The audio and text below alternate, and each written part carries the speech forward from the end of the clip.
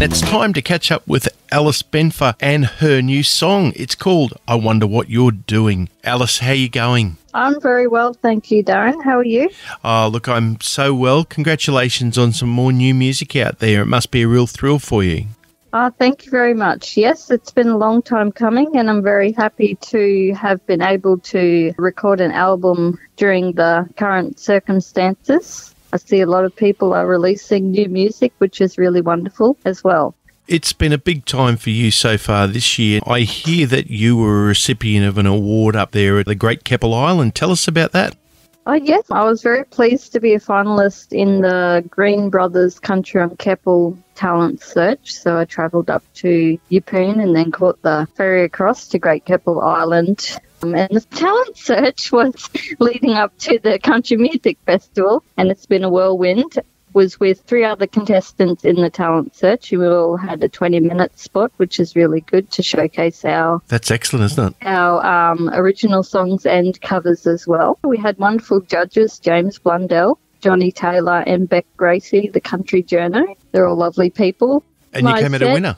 Yes, I was very thrilled about that, and I got a lovely brand new Takamine guitar as a prize and I get to perform there next year as a paid artist as well. So that'll be fantastic. That's a great lure to get contestants yes. there. Now, the thrill of just getting up singing live must have just been a, enough of a buzz as well. Oh, yes, yes. There was a lot of adrenaline and it went so fast to 20 minutes. So, yeah, I was just really excited to get up there and sing anyway. And yeah, winning was a bonus. I'm very pleased. Tell us about this single. Tell us how it came about. I wonder what you're doing. Originally, I recorded one single with Sam Hawksley. He's an Australian and mm, now he mm, lives yes. over in Nashville. I met Sam a couple of years ago and uh, we just spoke about recording and we always wanted to record an album together and uh, we have now. My latest album is What Can I Say? and that was produced by Sam Hawksley. Sam offered me his song to record, which was really exciting. So I was looking for some more upbeat songs to include on the album because I like a wide variety of music.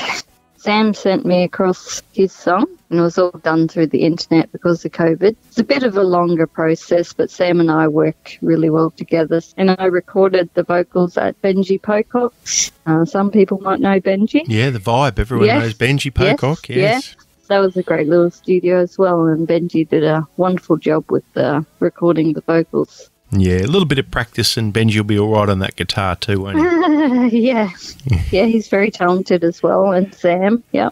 What is in store for the remainder of 2021 for Alice Benfer? Just performing at wherever I can. A couple of things have, have been cancelled or postponed, but I've got a few things that I will be performing at, which will be really good because I just love getting out there singing. And uh, I've been writing more songs to put together another album, more of a bush ballad album with the modern twist. So that'll be really good as well. Always. Hopefully, releasing more singles from this new album as well. Well, let's hope so, because I know you're a big hit with a lot of the traditional country music fans and the and the modern yes. ones. Uh, your take on some of the old stuff is just wonderful. Such a beautiful young person doing wonderful things with traditional songs. Alice, it's been wonderful to catch up with you. I look oh, forward to doing it much, again Darryn. real soon. And yes. we're going to play the single now. This is called I Wonder What You're Doing. This is Alice Benfer.